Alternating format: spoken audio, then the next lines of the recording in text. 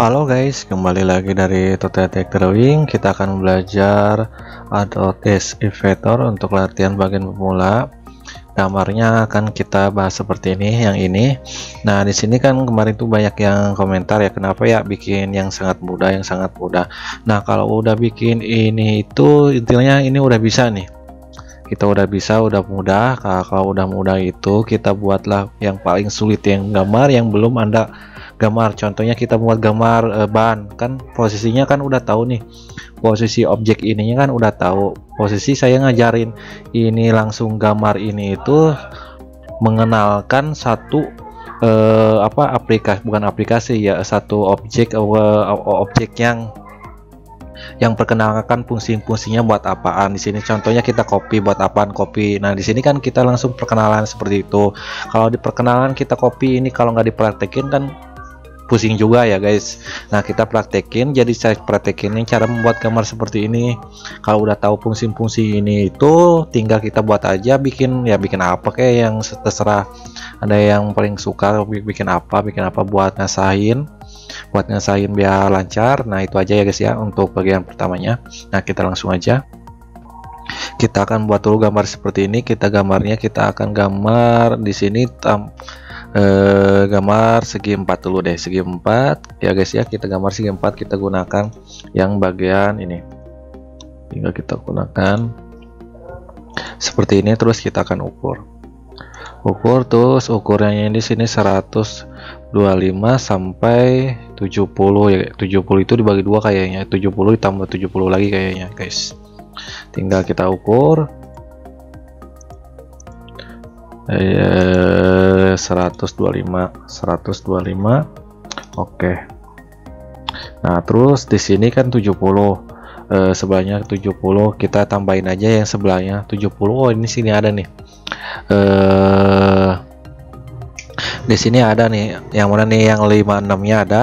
Nah tinggal gini aja guys. Kita tambahin aja. Contohnya yang 70 yang ini terus tambah 5 56 jadi totalnya keseluruhan itu jadi berapa? Jadi 126 nah seperti itu ya guys ya. Cara bacanya. 126 Nah, seperti ini. Terus kalau udah seperti ini tinggal kita lihat lagi. Kita gambar dua dimensi dulu ya guys ya. Nah, kalau udah seperti ini kan ini ada potongan juga nih, potongan. Kita akan potong juga. Potongnya di sini kan ada serak 56-nya. Tinggal kita bikin line dulu dari sini. Uh, kita bikin seperti ini aja. Terus kita tinggal kita ukur dari sini itu 56 terus dari uh, ininya uh, coba ketinggian bukan ketinggian di sininya 38 38 ininya nggak bisa ya nggak bisa diubah nih. Coba ininya ininya soalnya udah pas ke garis tengah-tengah. Kita delete aja terus kita ganti gunakan edge atau len nah seperti ini. Oh ini bukan ya? Oh itu lingkaran sorry guys Nah kalau udah seperti ini terus tinggal kita delete yang bagian ini. Caranya gimana? Kita trim. Trim. Nah kita kan ini kita jadi tahu fungsi-fungsinya ya guys ya. Sampai kalau sampai praktek. Nah terus kita buat lagi. Terus kalau udah seperti ini tinggal kita tekin dulu aja. Tekinnya berapa? Di sini ketebalannya. Contoh kita ngambilnya yang ini. Eh mana ya? Kok nggak ada?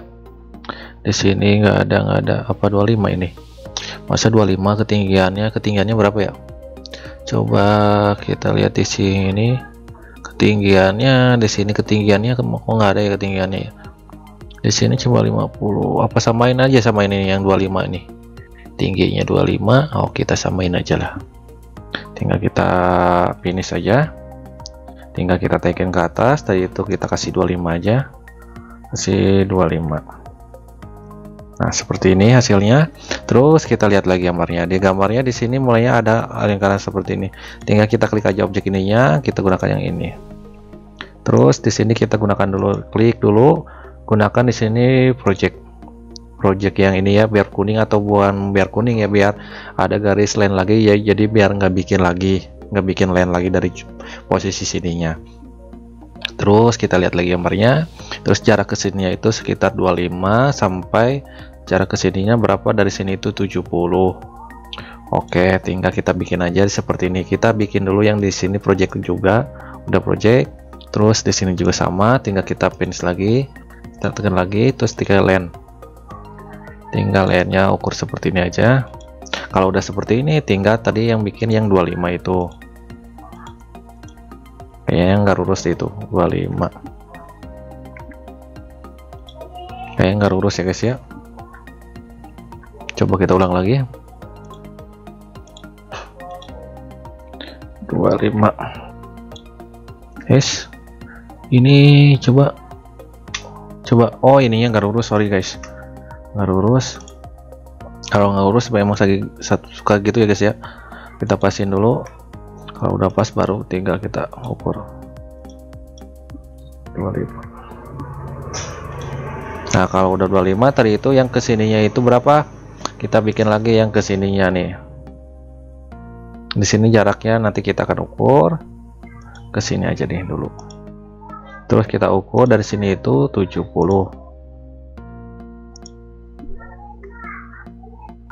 oke terus panjangnya berapa? Panjang ke sininya 50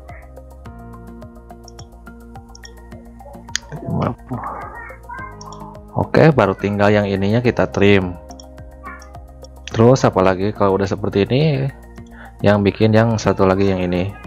Kita bikin. Caranya di sini kita bikin aja lens seperti ini aja. Kita lurusin aja lensnya terus kita bikin lagi lens satu lagi. Nah kalau udah seperti ini tinggal kita ukur. Coba kita lihat lagi ukurannya di sini. Jarak ke sininya itu adalah 6 tinggal kita 6 6 nah seperti ini terus satu lagi kita jarak ke sininya berapa tinggal kita kasih di sininya 20 tinggal kita ukur dari sini ke sini 20 Oke, nah kalau udah oke seperti ini, ini harus di trim. Kalau nggak di trim nggak bisa diangkatin bareng ya guys ya. Jadi dua kali kerja. Nah, kalau udah seperti ini, tinggal kita finish. Terus tinggal kita taikin ke atas. Taikin ke atas. Terus di sininya berapa taikin ke atasnya? Kita coba kita lihat di sini ada 50 ya guys ya. Dari sini itu 50 ke atas. Tinggal kita tulis aja di sini 50.